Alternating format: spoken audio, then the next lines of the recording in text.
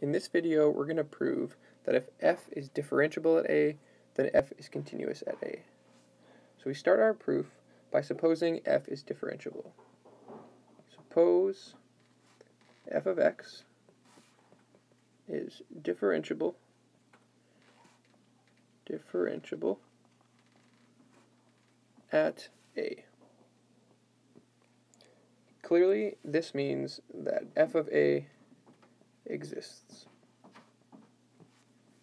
Now the main goal will be to show that the limit as x goes to a of f of x equals f of a. That's the definition of continuity. So, since f of x is differentiable at a, we can write out the following limit. The limit as x goes to a of f of x minus f of a all over x minus a exists. So we know that this limit here exists and will give us a number.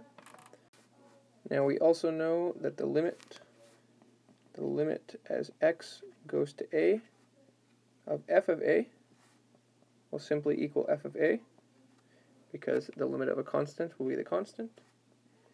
And the limit as x goes to a of x minus a will be a minus a which equals 0.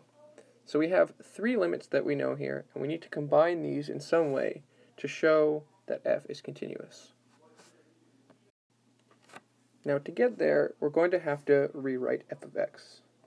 So first, we're going to rewrite f of x as f of x equals f of x minus f of a plus f of a.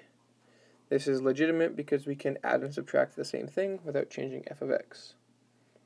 Then what we'll do is we will take the first portion here, f of x minus f of a. We will divide by x minus a, and we will times by x minus a. Still having f plus a at the end. So this is still equal to f of x. Finally, let's take the limit of both sides.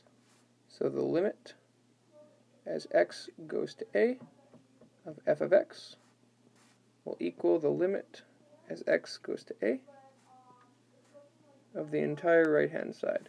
f of x minus f of a all over x minus a times x minus a plus f of a. Now using the information we had from before, we know that this limit here, which is just the derivative evaluated at a, exists. This limit right here will be equal to 0, and this limit will be f of a. So evaluating each part of the limit, we get f prime of a times 0 plus f of a, which is just equal to f of a. So we can say that the limit as x goes to a of f of x equals f of a and